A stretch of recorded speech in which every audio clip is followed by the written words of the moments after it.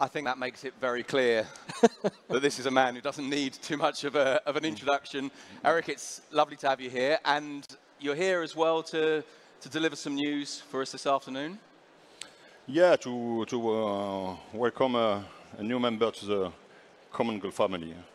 So before we do that, before you, you tell us that piece of news, I wanted to ask you, Jürgen, if you can briefly give an idea to everybody of what it is exactly that, that, that, Common Goal does. What, what is the aims of, of Common Goal? Yeah, sure. So you had already a, a, quick introduction of before we actually enter the stage, but there is like a football for good movement out there for 20 years, which is community-based organizations that are using football as a tool to change the reality around themselves and their communities. Um, 20 years into that, we just thought, okay, there's football for good here and there's football for profit there we should build a, a systemic bridge, and Common Goal has been the answer to that. So it's a prof professional athletes-driven movement.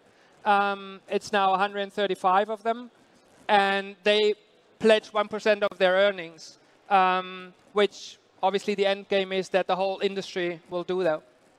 So before we go on then, Eric, if you'd like to announce who the newest member of Common Goal is. Yeah, I would like to welcome on stage Eniola Aluko.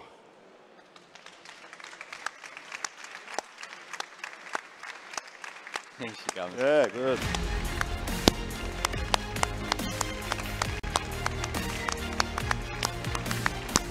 Yeah. Eni, lovely to have you here. Lovely to be here. So Eni's played more than 100 times for England. Juventus title winner this year. Yes. Chiellini, the title winner, Supercoppa. I should never leave anything out. never, never stop short. The, the captain, of course, of the Juventus men's team is, is Giorgio Chiellini, who was the fifth member, I believe, Jurgen, of, of Common Goal. Sure. So 130 players later, you're the 135th member. Why? What was it that, that, that, that led you to, to join this project? Well, for me, I've always been um, I've always been somebody that recognizes the power of being a footballer, the, the platform that we have to really affect people around the world, people that I don't even know.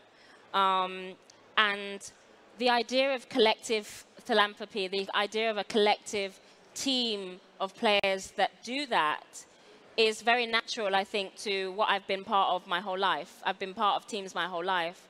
Um, and I'm very passionate in particular about um, clean water, about the empowerment of women, empowerment of young girls, um, which is aligns with some of the things that Common Goal are doing. So it's, it's, it's being part of a player group, but also being part of a platform that is using footballers to do good in the world. As you say, there's the, the, the, passion for the empowerment of women. One of the most interesting things, I think, about what Common Goal have done so far is that more than 50% of the footballers who've joined are women.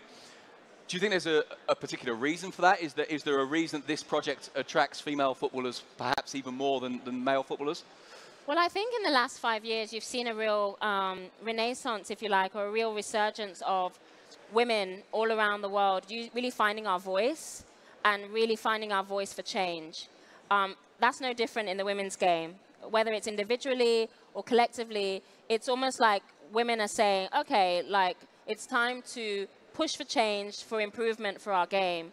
Um, and we're just, a lot of us are just really nice people, and we, we care about um, important things around the world that doesn't necessarily affect our football every day, but we know that we can impact. So I'm really um, inspired, actually, that 50% of the women, 50% uh, of the collective at Common Goal are women, and that makes me feel very empowered that we can just keep pushing and keep um, using football for, for change and for good.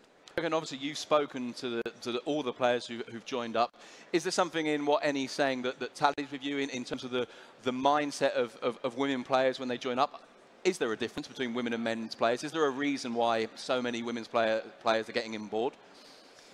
Yeah, I think I'm just echoing also what Eni just said, but there is something special to female leadership in general. I don't think that that's just in football, but actually also beyond, there's more of an inclusive approach, more of a, a collective approach instead of me first, which is probably more of the experience we have had so far um, with some of the environments around male players.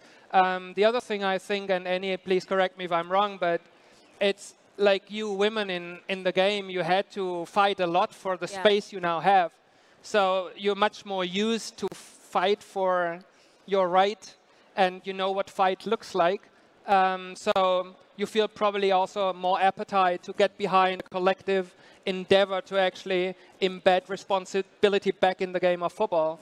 So, and the, the third thing I would mention, it's just easier to access female players than it is to access male players because your yeah the, your game is still more Accessible. more yeah and more grounded um, as opposed to the bubble in which the male game is moving itself. Is there, a, I mean, genuinely then, is, is there a problem with gatekeepers to the males game? Is there a problem of getting to them to actually be able to propose face to face that they become involved in this? Yeah, it's it's yeah. Um, I don't want to generalize here because obviously every player is his in talking about male players his own universe, but generalizing there is a lot of protection around the male players, which wouldn't allow actually to have a conversation with the players, being it family, being it agents, being it clubs, or other advisors. Um, once we are in a situation to speak to a player like face to face, it is actually like 95% of them would join Common Goal. Right. If we don't get into that position, it's probably less than 10% that, that actually gets through to the player. You talked a lot, obviously, about this being a collective project. And Eric, you've always been very much your own man, always seen as someone different to, to other footballers.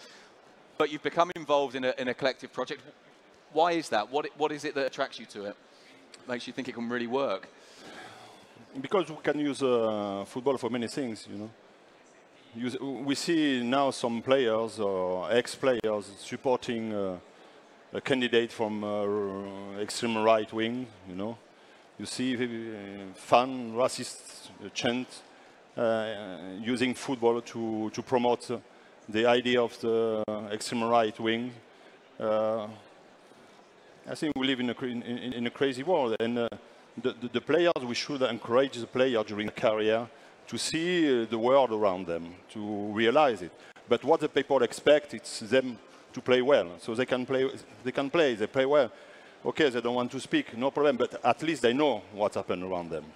And uh, instead of using the fame, their fame, and to, to support this kind of uh, politics, I think they should go to the poor area and try to, uh, to, to, to use football to encourage the, the, young, the young guys. For instance, I was in Cartagena a few years ago, uh, a bit outside of Cartagena, and um, very, very, very poor area, very poor area. And it was a, a, a football pitch uh, created. And, uh, and asked if a lot of kids were playing there. He said yes. But uh, he said to me, to play football, first they have to go to school. And if they work well at school, they can play football. And the kid went to school and worked hard at school. And then were allowed to play football. And they enjoy football because they love football. Of course, maybe none of them will become professional, or maybe one. But for the rest of them, at least they will have been to school. And it will help them for the rest of their life. And it's what Common Goal does, this kind of thing. And I think it's very, very important. The power of football is very, is very important. Well, that's the key, is that it's the, it's the power of the game that enables it to reach places perhaps that, that other spheres of life wouldn't reach. I don't know if I don't know if there's anything that carries the power of football. Perhaps music. I don't know. Um, so, is that why this can work? Because football can take it to places that other that other projects couldn't reach. Yeah, football can help, like many things, but we are in football, and uh, football is the most popular sport in, in the world. Nearly 100% of the people in the planet love football. Some of them know. but- But forget so that, we can that doesn't matter. so we can we can use football for many things. We were uh, we were last year uh, just few streets from here in a very poor area also with the people who were came out from jail and everything. And with football, you know, they have a goal. They have a goal. They can train the kids. And football is an education too. You know, when we started football, we had to respect our teammates, we have to respect the opposite team, we have to respect the material, we have to respect the fans, we have to respect everybody. It's a kind of education. To, it's a school of life, football.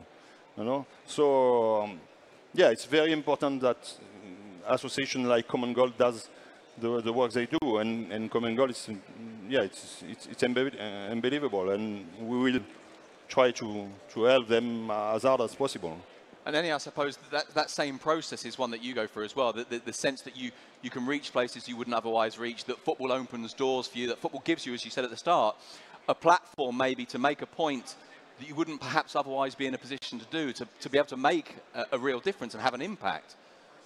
Well, I think, you know, footballers are um, brands in ourselves. You know, if you look at the kind of the, the number of people that follow us on social media alone, um, we have as big a reach as some newspapers. We have a bigger reach as some TV um, broadcasters. People listen to footballers. People want to know what footballers are going to say. People follow what we do.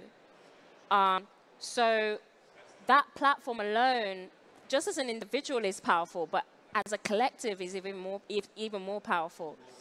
And so for me, one thing I really want to do with Common Goal is engage with decision makers yep. who, you know, without being a footballer, they wouldn't want to probably talk to Eni Aluko. Do you know what I mean? But because I'm a footballer who's done what I've done, with along with other footballers, we can have that kind of conversation. So one thing I'm really excited about um, in the in the coming weeks, Common Goal uh, organizing an event, um, coffees with the president, uh, with the UEFA president, and it's being able to have that one-to-one conversation with decision makers and saying, what are you doing about racism in the game? What are you doing about all of these things that are affecting society as well?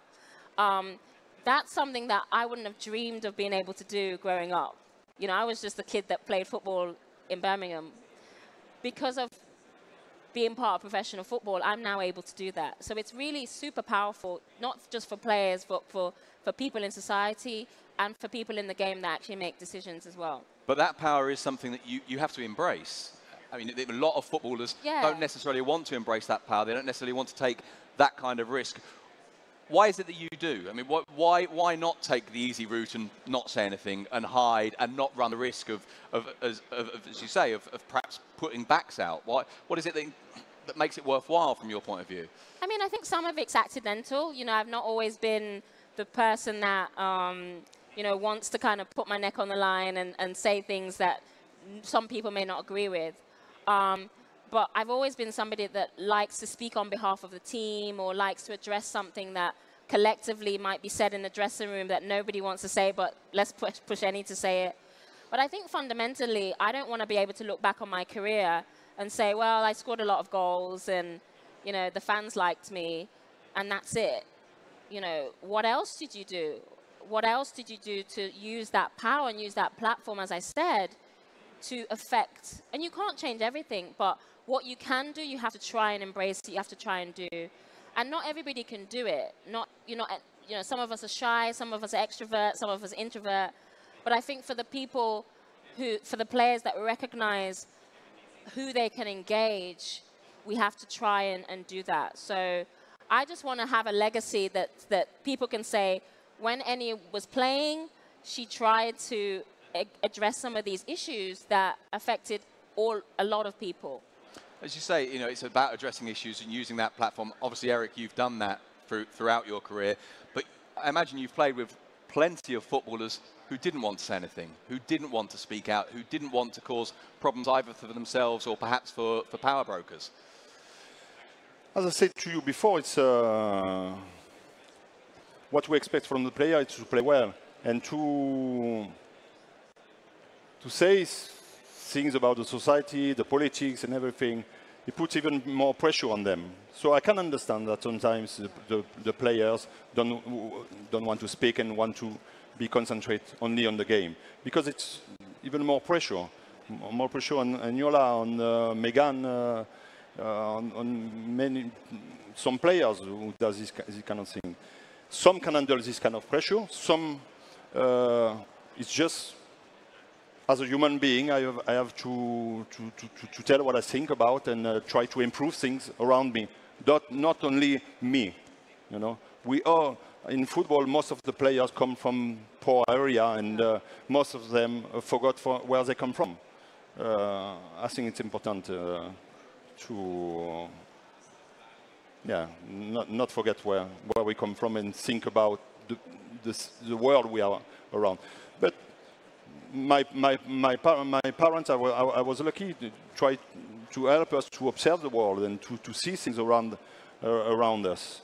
You know, uh, the good things, the bad things, the, the nice light, nice colors, uh, the, the, problem in the society, the problem everywhere. But maybe it's not kind of thing we can see in, in some families. Now you have uh, parents that speak more to their kids about fame and money than the passion for the game. Uh, yeah, it's, it's why it's, it's, very important to have this kind of player and association try to, to, to do the balance, you know. And where does Maybe, it go now, Yeah. I mean, from, from here, where, where does it go, particularly with, with the UN sustainability plans? Where, where, where does this go next? Yeah, obviously, um, in the next step, we want to involve also the fans, not obviously pledging more money to the game, but, but actually find a way to, for them to also participate in that probably biggest team we have on earth to actually change things. I just wanted to come back on, to, on the thing you mentioned that at the end. Um, there's obviously Megan Rapinoe. She showed probably like during the, the female World yeah. Cup how it goes hand in hand where you can actually stand for something and perform at the same time and actually become world champion, best player of the tournament and, and golden boot. And the same applies to a club in, in Denmark who has joined Common Goal, FC Nordsjælland, who actually builds his whole philosophy on a better person becomes a better player. So purpose in a player's life actually takes pressure away from players on the field. So I think there's a lot to talk about here. Right, we are out of time, but one last message maybe, Eric. What would be the message for football stakeholders from your point of view to be involved, I suppose? What would you say to other players? Sorry? What would you say to other players? What would your message be to football stakeholders now? To the players, what? Yeah, to players, to be involved in this project, I suppose. Ah. You know, we are what we are. We want, we want or we don't want. Uh, but for sure, we have the power to help each other. And that, after, it's a decision of each other. Uh, yeah, we are here to, to try to, uh, to promote this kind of idea, but we see. We see we cannot force, uh, you know, we, know, we are not in a dictatorship. You know? Thank you. Everybody is free, uh, as, yeah, as free as possible. Yeah. Thank you very much. I think that is all we've got time for. So thank you both to Eni, to Eric, and to Jurgen. Mm.